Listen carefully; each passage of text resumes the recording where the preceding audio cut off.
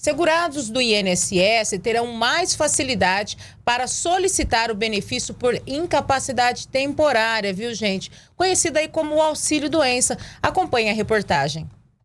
Um dos gargalos para conseguir o auxílio doença é a espera pela perícia médica feita pelo Instituto Nacional do Seguro Social, o INSS. A fila para esse tipo de benefício conta com mais de 1 milhão e 100 mil pedidos acumulados. Deste total, 600 mil ainda esperam por uma perícia. A Previdência Social mudou o sistema para solicitar o benefício do auxílio doença. Agora é possível solicitar o benefício apenas com o CPF.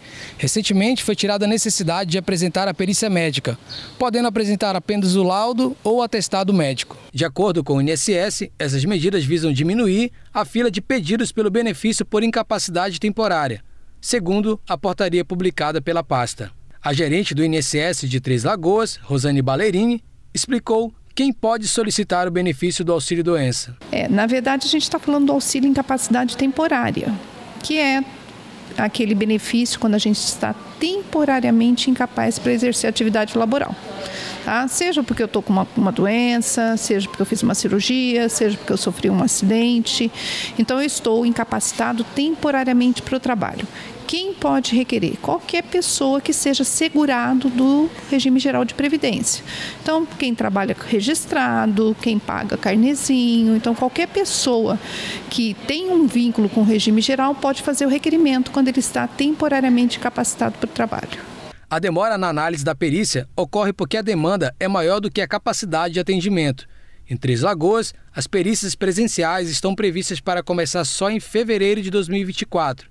E essas mudanças vão agilizar os processos pela internet, como explica a gerente. Então, em virtude disso, se criou um outro mecanismo que é a análise de atestados médicos, sem a necessidade da perícia presencial. Então, a pessoa ela vai fazer um requerimento, vai juntar documento de identificação, obrigatoriamente, ela tem que fazer a juntada de um documento de identificação e da documentação médica. Então, que documentação médica que ela vai fazer é, juntada nesse pedido? atestado, porque tem que ter nome do médico, CRM do médico, período de afastamento, diagnóstico da doença. Então tem que ter o atestado e tem que ter não necessariamente, não obrigatoriamente, mas se ela tiver exames, laudos, relatórios, ela pode fazer a juntada também. Esse requerimento pode ser feito presencialmente com agendamento pelo telefone 135 ou pelo site Meu INSS. Os segurados não precisam ter cadastro na plataforma. É possível solicitar o benefício apenas com o CPF. No portal Meu INSS, o usuário deve acessar a opção Pedir benefício por incapacidade, depois em novo requerimento e em seguida em benefício por incapacidade, auxílio doença. E depois preencher o formulário com seus dados pessoais, como CPF e número de celular. Clique em sim para acompanhar seu processo pelo aplicativo, em e-mail ou pelo 135. Preencha os campos solicitados conforme seu atestado médico e demais campos necessários. Anexe sua documentação médica, inclua exames, laudos e atestados. Informe CEP da sua residência para indicar sua agência e definir a região de pagamento do seu benefício.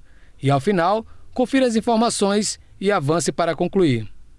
O INSS destaca que, no caso de acidente de trabalho, é obrigatório a apresentação também da comunicação de acidente de trabalho os atestados passarão por uma análise de peritos. Ela vai passar por perícia presencial? Não.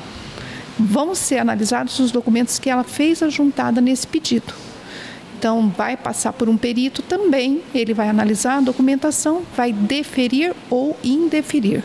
Se ele negar, entender que não existe ou tem alguma coisa irregular no atestado ou não existe incapacidade, aí será agendada uma perícia presencial para ela comparecer na agência.